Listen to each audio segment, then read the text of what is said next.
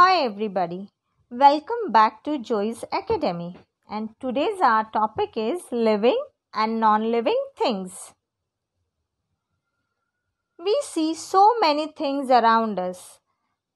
They can be living or non-living. Let us learn about them. Living things.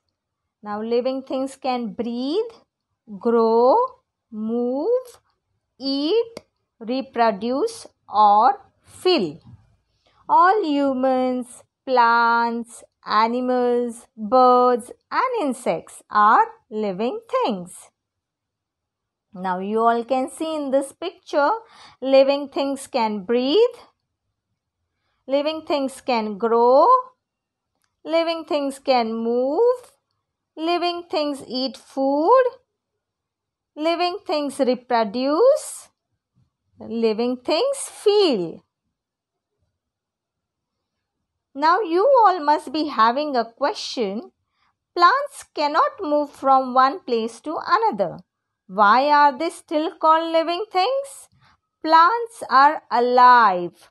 They grow and reproduce. So they are called living things. Non living things.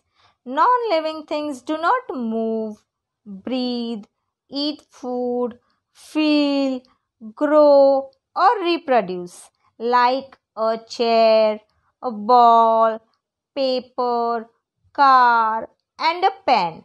All these are non living things. Now, non living things can be natural or man made.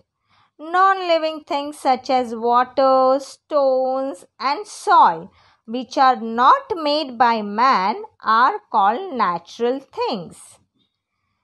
All these are natural things.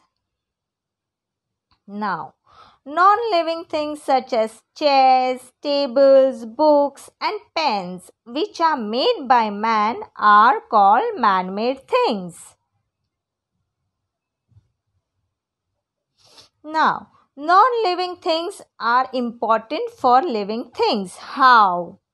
Non-living things are needed by living things like living things need air to breathe, living things need water to drink, plants need soil to grow.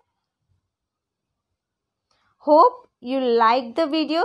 So please like, share, subscribe and comment. Thank you.